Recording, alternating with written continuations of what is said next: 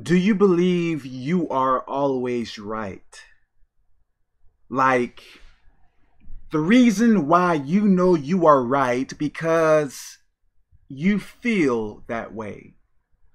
Even though there is evidence going contrary to your belief,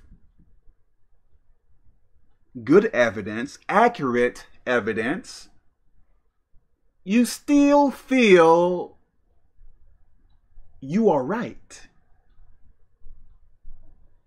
No matter who it is, whether it is your mother, father, teacher, pastor, whomever, people are usually saying accurate things to you about yourself, but you feel it is wrong. Like, how is it someone who never met you is telling you just about the same things other people are telling you about yourself, but you feel that it is wrong? Listen now.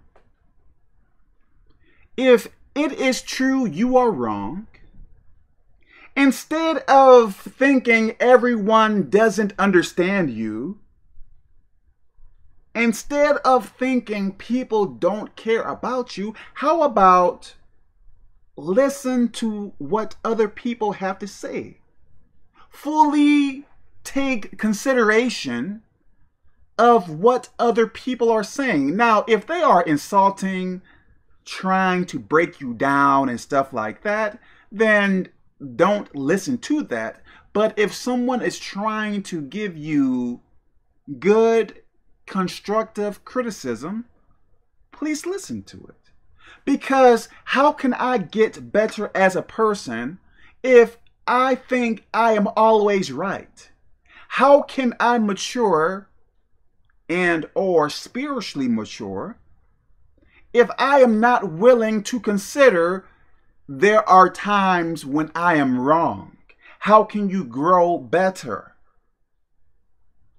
Stop thinking you are always right. Yes, maybe your mother and father rejected you. Yes, maybe some people in your past did not pay attention to you. So maybe the way you feel, even if you are wrong, you are going to act like you are right because I guess you felt like some people didn't care about you in the past. So you are going to step on whoever you want to, say whatever you want to say, whether you are wrong or right. Look now, that is that is immaturity.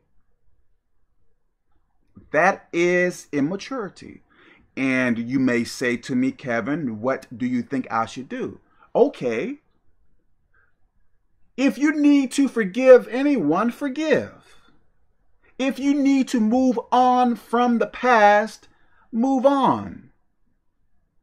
We can't do what is wrong because we felt like someone wronged us in the past.